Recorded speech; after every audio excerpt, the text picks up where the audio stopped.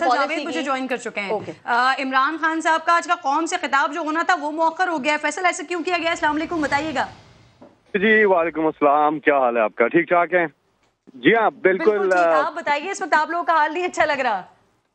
ज़बरदस्त है जी अल्हम्दुलिल्लाह बहुत ही अच्छा हाल है। और इमरान खान साहब सौ फ़ीसद जीत चुके हैं। और अभी ज़रूरत नहीं है खिताब। वैसे भी प्राइम मिनिस्टर साहब जो हैं थोड़े मसरूफियात हैं उनकी कुछ मीटिंग्स वगैरह चल रही हैं। और ये खिताब जो है जो कौम से आज करना था फ़िलहाल मौखर कर दिया गया जी। जी जी। फैसल सच बता दें कि अस्करी क्यादत की तरफ़ से कहा गया है कि खिताब मौखर कर दें? नहीं नहीं ऐसा कुछ भी नहीं है। ये कहाँ से आप सवाल निकाल सकते हैं और कुछ खुद से है?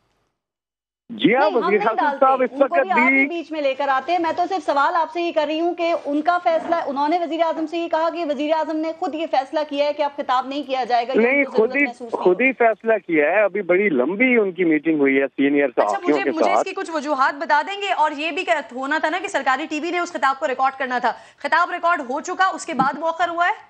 नहीं नहीं अभी रिकॉर्ड